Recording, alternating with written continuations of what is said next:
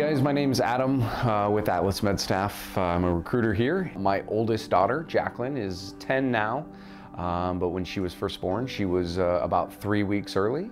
Um, and everything uh, delivery-wise and everything, she was okay, but she just didn't cry a ton uh, when she was delivered. And uh, so they took her, monitored her for a little bit, and then all of a sudden they're like, hey, we're gonna take her to the NICU. And we were kind of like, all right, that's, uh, that's weird, but there's obviously a good reason. It was uh, kind of just a crazy time and couldn't really think about it, but she ended up staying in the NICU for about a week. She had some wet lung, um, and then um, she kind of had some failure to thrive uh, to get started eating and uh, kind of breastfeeding and, and going from there. So, you know, looking back 10 years ago, it was, it didn't seem like a big deal now.